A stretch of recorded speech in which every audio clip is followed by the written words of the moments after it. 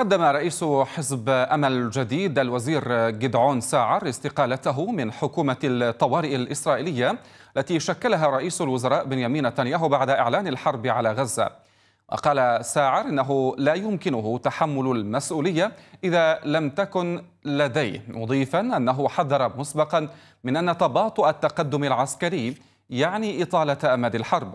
وهو الأمر الذي سيكون ضد المصلحة الوطنية الإسرائيلية حسب وصفه وكان ساعر قد انضم إلى حكومة الطوارئ مع عدد من أعضاء. أعضاء المعارضة الآخرين بعد هجوم السابع من أكتوبر الذي نفذته المقاومة الفلسطينية على قواعد عسكرية إسرائيلية هذا واعتبر زعيم المعارضة الإسرائيلية يائير لبيد استقالة الوزير في حكومة الطوارئ جدعون ساعر خطوة أولى نحو حل حكومة رئيس الوزراء بنيامين نتنياهو.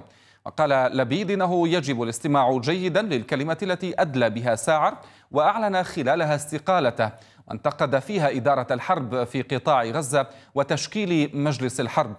وأضاف لبيد أن الاستقالة يجب أن تدفع الحكومة لتحمل مسؤوليتها وتعيد التفويض إلى الشعب وذلك في إشارة للذهاب إلى انتخابات مبكرة.